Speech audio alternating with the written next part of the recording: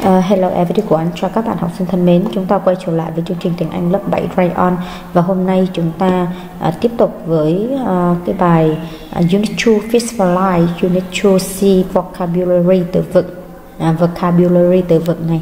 Uh, Ok, chúng ta coi trong cái bài này uh, Trang bao nhiêu? Trang 34 uh, Food uh, and Food Categories là đồ ăn và những danh mục đồ ăn những cái mục đồ ăn những cái nhóm đồ ăn. Bây giờ chúng ta coi cái bài một exercise one look at the picture. Hãy nhìn vào bức tranh list the foods or drinks under the categories. À, chúng ta sẽ đưa vào những cái mục dưới đây. Để chúng ta coi nha. À, bữa sáng này breakfast là bữa sáng chúng ta thấy có cereals là ngũ cốc milk là sữa orange juice nước ép bread bánh mì à, bữa trưa lunch là bữa trưa chúng ta có pizza. À, là pizza fish là cá meat là thịt salad à, salad gọi là cái gọi đó. Rice là cơm. Bữa tối dinner chúng ta có pasta mì ống steak là bò bít tết à, soup rồi chicken thịt gà. À, bữa ăn nhẹ thì chúng ta có burger là bánh mì burger ice cream nha ice cream là kem à, biscuits là bánh quy grapes là nho. Rồi vậy thì bây giờ chúng ta có những cái mục này. Fruits and vegetable là rau củ là trái cây và rau củ. Uh, fruits and vegetable thì chúng ta có salad thuộc nhóm này grapes orange juice thuộc nhóm này. Ok rồi cái nhóm mà tinh bột nhé carbon hydrates. Carbon hydrate chúng ta thực tập phát âm cái từ này như thế nào đây. Rồi chúng ta phát âm lại. Carbohydrate carbohydrate. Carbohydrate. Nha chúng ta lưu lại. Carbohydrate. Nhân âm 3 carbohydrate. Carbohydrate. Carbohydrate. Bỏ đây. Carbohydrate là cái nhóm mà tinh bột chúng ta coi nó giải thích sao? Uhm, chúng ta gọi tắt này. Carb countable uncountable. Uh, carbon hydrate là gì? Chúng ta thấy.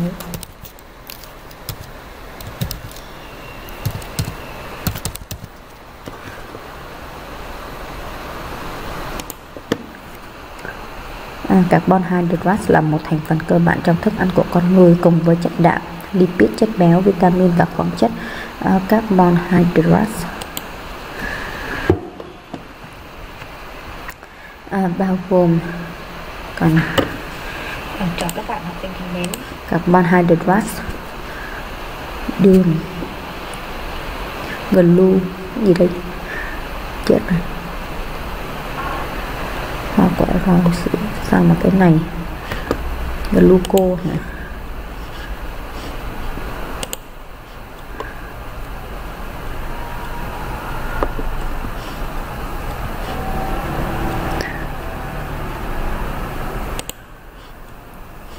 Đây, carbon hydrate bao gồm đường, tinh bột, chất xơ trong trái cây, ngũ cốc, rau và các sản phẩm chế phẩm từ sữa. Oh my god, chúng ta quay lại đây. Vậy ở đây chúng ta có này, hạt này, ngũ cốc đó, sugar là đường này. Rồi chúng ta điền vô cereals, ngũ cốc, bread, bánh mì, pizza là bánh pizza, rice là cơm, pasta mì ống, súp này, biscuits này. Chúng ta sang phần chất đạm nha, protein chúng ta có meat là thịt poultry là da cầm dairy product là sản phẩm từ sữa và chúng ta điền vô milk uh, milk fish meat chicken burger steak uh, à, rồi.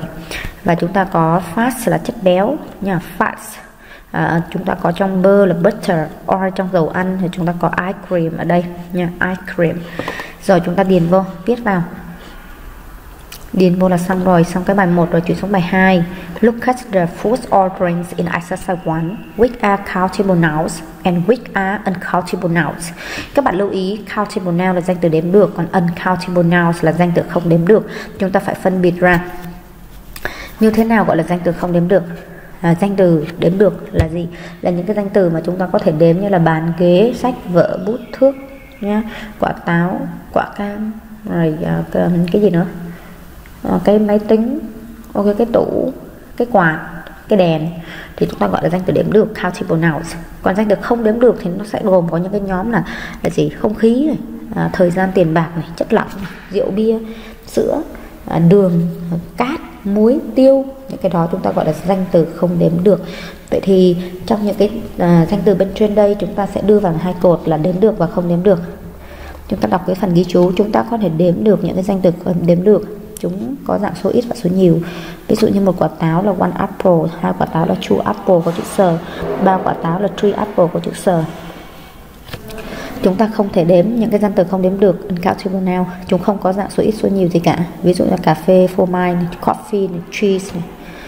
rồi chúng ta coi nhé. Rồi chúng ta có này. Countable là stick là bobby bít burger biscuits rice rất là ít có bốn cái trong danh sách này thôi. À, bò bít tết burger biscuits bánh quy và grapes quả nho còn những cái thằng mà uncountable là chúng ta có ngũ cốc này cereal sữa milk orange juice nước cam ép bread bánh mì pizza uh, fish salad uh, meat rice stick. Stick vậy là vừa đến đường vừa không đến được pasta chicken soup ice cream. Chú ý stick có thể là countable và countable uncountable nouns chép vô ha. Rồi đó là cái bài số 1 bài số 2 chuyển sang bài số 3 bài số 3 thì Sally đang huấn luyện cho cái ờ, trận đấu bóng rổ. Sally is training for a basketball match and need to eat healthily và cần phải ăn uống mạnh khỏe. What does she have every day? À, những cái cái nào cô ta có thể ăn mỗi ngày? Look and say as in the, the example. Sally has a glass of milk and cereals for breakfast à, Sally ăn à, uống một ly sữa và ngũ cốc cho bữa sáng à, chúng ta có thể nói như vậy còn bữa trưa bữa tối và bữa ăn nhẹ thì chúng ta nói như thế nào đây đáp án She has fish and salad for lunch. She has chicken and soup for dinner. She has grapes for a snack. Ok. Đó là cái bài số 3. Chúng ta chuyển sang cái bài số à, 3B. Bài 3B là gì? Uh, nói với mình á. I have cereals with milk for breakfast. I have pizza for lunch. I have a steak for dinner. I have biscuits for a snack. À, tôi ăn ngũ cốc với sữa cho bữa sáng. Tôi ăn pizza cho bữa trưa. Tôi ăn bò bít tết cho bữa tối và tôi ăn bánh quy cho một bữa ăn nhẹ. Rồi sang cái bài nghe. À, nghe một cái đoạn hội thoại. À, nói về cái healthy eating habits nhé, một cái thói quen ăn uống lành mạnh và cái lời khuyên mà An dành cho Bob là gì chúng ta ghi vào rồi nghe Exercise 4. Page 34. Do you like pizza? Yes, a lot. I eat pizza almost every evening. Well, you shouldn't eat too much pizza. It contains too much fat. Why don't you have some soup instead? It's healthy. I guess you are right. Rồi, rất dễ, bài này quá dễ luôn. Ok, đáp án của chúng ta. An advises bot uh, à, An khuyên bot not to eat too much pizza, không nên ăn quá nhiều pizza because it contains too much fat, nó chứa quá nhiều chất béo. He should have some soup, it's healthier. À, anh ta nên ăn súp nó mạnh khỏe hơn. Rồi bài số 5 của chúng ta này. À, sử dụng những cái language trong cái hộp dưới đây, hộp bên này để mà đưa ra lời khuyên về cái thói quen ăn uống lành mạnh chúng ta muốn đưa ra lời khuyên thì chúng ta xài à, you should là bạn nên you should là bạn không nên và sau đó là một cái động từ nguyên mẫu hoặc là it's a good idea. À, thật là ý kiến hay để làm cái này để làm cái kia. Nha chu cộng động từ nguyên mẫu. Why don't you? À, cộng động từ nguyên mẫu. Tại sao bạn không làm cái này bạn không làm cái kia? Ví dụ như thế này. À, do you like burger? Bạn có thích burger không? Yes, a lot. I have one almost every evening. Tôi ăn hầu hết là mỗi đêm, mỗi tối. Well, you shouldn't eat too many burgers. They contain too much fat. À, bạn không nên ăn quá nhiều burger, nó chứa quá nhiều chất béo. Why don't you have some salad instead? It's healthier. Tại sao bạn không nên ăn salad nhỉ? Nó mạnh khỏe hơn đấy. I guess you are right. Tôi đoán là bạn nói đúng. Rồi thì vậy thì chúng ta có thể những cái bài tương tự như thế này. Do you like pasta? Bạn có thích mì ống không? Yes, a lot. you have pasta three times a week. Well, you shouldn't eat pasta that often. It contains too many carbon carbohydrate. You should control your portion portion size. I glad you are right.